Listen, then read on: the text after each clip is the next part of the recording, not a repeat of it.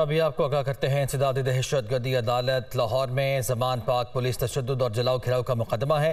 तहरीक इंसाफ के रहनुमा हमाद असर और फवाद चौधरी को बुरी जमानत का तहरीरी हुक्म जारी किया गया है। दोनों मुलजमान एक एक लाख रुपए के जमानती मचल के जमा कराएँ। तहरीरी हुक्म जारी किया गया है, जिसमें यह भी कहा गया कि तफ्तीशी अफसर तेरह अप्रैल को रिकॉर्ड अदालत में पेश करे। तफसरा जानते हैं, हमारे नुमाइंदे मोहम्मद अशफाक हमारे साथ मौजूद है। अशफाक, आगाह कीजिए।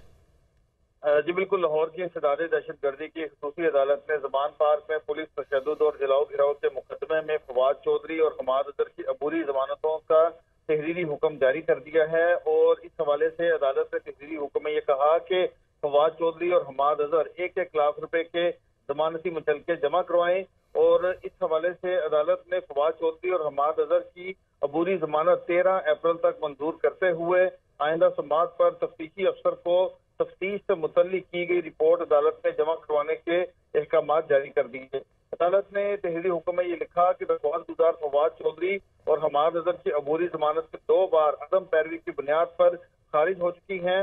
मुलजिम के वकला ने इस बात को तस्लीम किया है कि फवाद चौधरी सुप्रीम कोर्ट में मसरूफ होने के बायस पेश ना हो सके।